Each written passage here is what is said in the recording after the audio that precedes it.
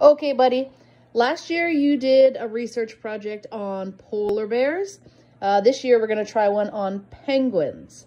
You're going to do some penguin research and try and find the answers to all of these questions or as many of these questions as you can.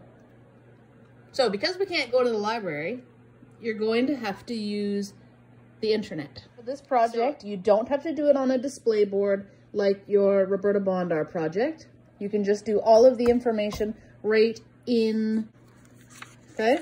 So if your Chromebook hasn't arrived, then just hold off on these and, you know, we'll, we'll pick a due date somewhere down the road. It's something you can just work away at. You're still going to get all of your other daily work.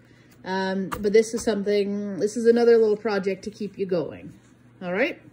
So when you're filling in your answers, make sure that your letters are not touching each other. Because if I can't read it, I can't mark it. Okay. So work away at your own pace and then send me a picture when you're done. Sound good? Okay. Bye-bye.